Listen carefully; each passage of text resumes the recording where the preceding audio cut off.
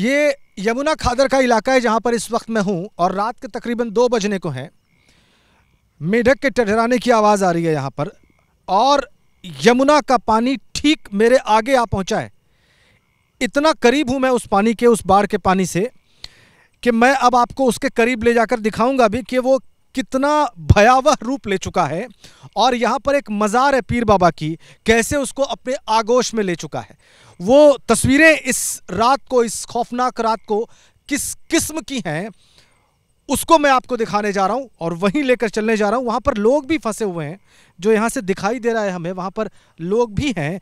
इस रात की रोशनी में जो थोड़ी बहुत है, उन्होंने शायद अपने हाथों में मोबाइल की रोशनी शायद की हुई है।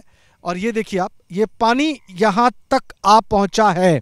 बगल में यमुना बह रही है और पानी यहाँ तक आ पहुँचा है। ये देखिए आप, हाथों में लाइट्स ली हुई है उन्होंने, एक गेट दिखाई दे रहा है यहाँ से। और ये पानी यहाँ पर मैं ज़रूर कहूँगा कि देखिए ये ये बाढ़ का पानी है, यमुना बढ़ी हुई है, उसका पानी आपको यहाँ तक दिखाई दे रहा है। धीरे धीरे हम अपने कदम संभाल के आगे बढ़ेंगे। मैं कैमरा पर्सन कहूँगा कि वो सावधानी बरतें, पानी कहीं भी हो सकता है और रात हो चुकी है इसलिए बहुत साफ़ दिखाई नहीं दे रहा है लेकिन फिर भी ये भयावह मंजर क्या है इस बाढ़ में? और वो भी देश की राजधानी दिल्ली का ये आप लोगों के लिए देख लेना बहुत ज़रूरी है। ये ये ये गेट है और मज़ार यहाँ पे बताई गई है कुछ लोग हैं यहाँ पर। ये क्या जगह है? आप लोग रात को क्या जगह है ये? ये कंचन कुंज निकट कंचन कुंज पड़ता है। ये गेट के भीतर ये कौन सी जगह है? ये ये रहीम शाह कादरी पीर बाबा है। अच्छा पीर बाबा है। हाँ। पानी यहाँ पे आया हुआ है? पानी? पानी बढ़ रहा है ये मैं कैमरा पर्सन से कहूँगा दिखाएँ जरा। ये देखिए आप ये पीर बाबा की दरगाह है और ये देखिए आप यमुना का पानी बढ़ता चला आ रहा है। ये आप बहुत साफ़ देख सकते हैं पानी यहाँ पर बढ़ता चला आ रहा है। और ये ये देखिए हाथ में लाइट लिए हुए जो बाबा हैं ये ही रखवाली कर, करते हैं यहाँ पर। ये केयर टेकर हैं यहाँ पर आप इनको देख लीजिए। और ये इस दरगाह में पानी भर चुका है यमुना का। बड़ी हुई यमुना का पानी यहाँ पर भर चुका है। ये आप देखिए तो ये ये हालात हैं इस वक्त, इस रात को। और इसीलिए हम कह रहे हैं कि ये खौफनाक रात है। इसीलिए हम कह रहे हैं कि ये डरावनी रात है। और ये दिल्ली पर भारी है। ये उसका सबसे बड़ा उदाहरण हम आपको दिखा रहे हैं। ये यमुना खादर का इलाका है। पानी बढ़ता चला आ रहा है। और हमारे देखते देखते देखिए, हमारे देखते देखते हमारे कदमों के पास तक ये पानी आ गया है। और यहाँ पर जो लोग हैं इस इस मज़ार के आसपास जो लोग रहते हैं और इनके परिवार के जो लोग हैं उनको हमने देखा वो किनारे खड़े हैं। अब उनके पास हम चलेंगे और उनसे बात करेंगे देखेंगे कि उनके पास क्या इंतज़ाम है। इसके अलावा ये पानी यमुना खादर का इलाका है पीछे दरगाह है जिसकी हम अभी बात कर रहे थे और ये वहाँ के केयर टेकर है। क्या नाम है आपका? इमामुद्दीन नाम है मेरा। ये पानी यहाँ पर कब से आया हुआ है? ये आया है सात बजे से। सात बजे से। और कितने लोग यहाँ आसपास रहते हैं? यहाँ मैं अकेला ही रहता हूँ परिवार मेरा मेरा ही रहता है। आपका और आपका परिवार? जी। तो आपका परिवार कहाँ है वो औरत जो बैठी वो मेरी है ही वो। आगे उधर उस तरफ़? हाँ। प्रशासन का कोई आदमी आया था? किसी ने निकाला आपको यहाँ से? प्रशासन का कोई नहीं कॉलोनी वाले आए थे। कॉलोनी वाले आए थे।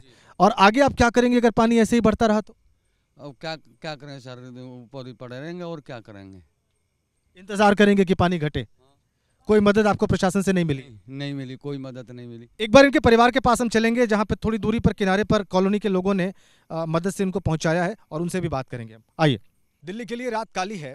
अभी हमने आपको दिखाया कि कैसे वो जो दरगाह है उस पर यमुना का पानी चढ़ाया है और दरगाह लगभग डूब चुकी है और यमुना का पानी बढ़ता आ रहा है। और इस रात को कॉलोनी के लोगों ने दरगाह के जो केयरटेकर हैं जो यहाँ की रखवाली करते हैं, उनके परिवार को ऐसे बाहर निकाला है। ज़रा सामान देखिए आप।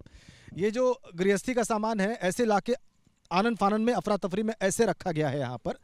ऐसे लाइट्स लगाई गई हैं टेम्प्रोरी ताकि ये लोग किसी तरह से रात गुजार सकें। लेकिन ये काम प्रशासन के लोगों ने नहीं किया है। ये काम पास की कॉलोनी के लोगों ने किया है। उन्होंने खुद आकर ये इनको यहाँ से बाहर निकाला है, यहाँ पर रखा है। और वैसे पानी यहाँ भी आ सकता है। इसमें भी कोई हैरानी की बात नहीं होगी। जो यहाँ के केयरटेकर हैं उनकी पत्नी है ये और उनके चार बच्चे हैं ये और ये एक ये एक जो खाट है इस पर इन्होंने रात को शरण ली हुई है। रात के दो बज चुके हैं पानी बढ़ता चला आ रहा है मुसीबत है। कब आपको पता चला कब आपको वहाँ से बाहर निकाल के लाया गया? साढ़े नौ बजे। साढ़े नौ बजे रात को। उससे पहले आपको अंदाज़ा था कि यमुना ऐसे बढ़ रही है? नहीं। किसने निकाला आपको यहाँ बाहर? ये बाहर के लोग आए थे कॉलोनी के। कॉलोनी वाले आए थे उन्होंने बुला के चलो पानी बढ़ गया जल्दी बाहर चलो जल्दी जल्दी सामान निकलवा दिया। सारा सामान बाहर निकाल लिया? हाँ। ये बताओ बेटा खाना वाना खाया रात को? जी। कहाँ किसने खाया किसने खिलाया आपको? मम्मी ने। अच्छा यहीं बाहर लाके खिलाया आपको? नहीं। सात बजे खाया था हमने। अच्छा ये बताओ बेटा कितने दिन तक ऐसे ही रह लोगे अगर रहना पड़ जाए? ये हो सकता है कि हफ़्ते भर रहना पड़ जाए। तैयार हो इसके लिए?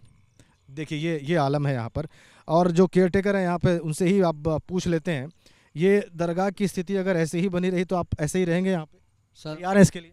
मजबूरी रहना पड़ेगा जब हमें छत्तीस साल यहाँ रहते रहते हो गए इनकी सेवादारी करते करते वो क्या करेंगे? आप इंतज़ार करेंगे कि पानी रिसीट करे घटे? कई बार आया हमारे सामने पानी। इससे पहले भी कई बार आ चुका है? इतना ही? इतना ही। तो उन हालात का आपने ऐसे ही सामना किया? ऐसे ही करा। कॉलोनी वाले साथ देते। ये देखिए आप, ये हिम्मत है और कॉलोनी के लोग इनका साथ दे रहे हैं, लेकिन प्रशासन के लोगों ने कोई साथ नहीं दिया है। ये चिंता की बात है, ये फ़िक्र की बात है। यमुना खादर से कैमरा पर्सन सी के सिंह के साथ मैं राजेंद्र देव।